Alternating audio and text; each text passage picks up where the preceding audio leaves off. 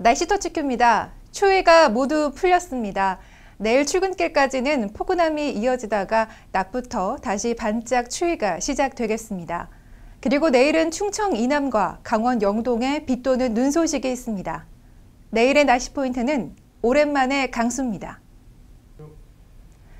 30일 오늘 밤 서쪽 지역부터 비가 시작되겠습니다. 새벽에 눈으로 바뀌어 내리겠고요. 특히 강원 영동 등 동쪽 지역은 많은 눈을 주의하셔야겠습니다. 강수구역은 대체로 충청 이남과 동쪽 지역입니다. 이 눈은 31일인 내일 오후 서쪽 지역부터 차차 그치겠습니다. 오늘 대체로 온화했습니다. 이 강수가 끝나고 내일 낮부터 기온이 하강하겠습니다. 자세한 강수 원인 살펴보겠습니다.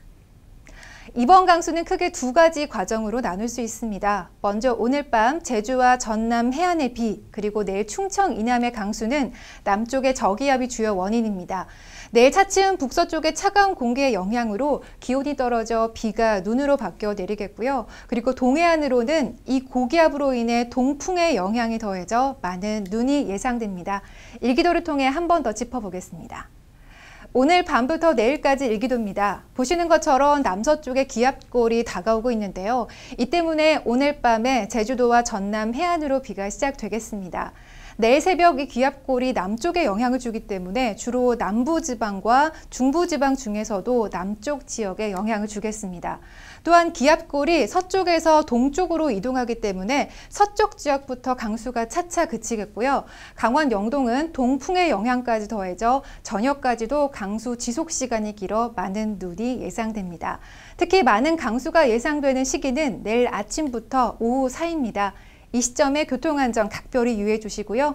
비가 모두 그친 뒤에는 차가운 고기압의 확장으로 다시 추워지겠습니다. 내일 최저 최고 기온입니다. 내일 아침까지는 남풍 계열 바람 유입으로 오늘보다 더 포근하겠고 낮에는 북서풍 바람 유입으로 기온이 오늘보다 떨어집니다. 먼저 아침 기온을 보시면 보시는 것처럼 내일 아침도 영하권은 이어지지만 오늘보다 기온이 더 올라 아침까지 추위 걱정 없겠습니다. 반면 낮부터는 공기가 달라집니다. 초록색이 영상권입니다. 영상권은 유지하지만 영상 5도 이상의 노란색, 영상 10도 이상의 붉은색은 보기 어렵습니다. 내일 퇴근길 옷 따뜻하게 입으시기 바랍니다.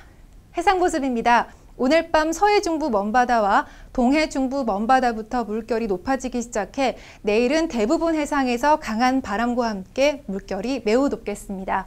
내일 제주도 남쪽 해상은 돌풍과 함께 천둥 번개 치는 곳도 있겠고요. 동해안 너울도 계속해서 유의해 주시기 바랍니다.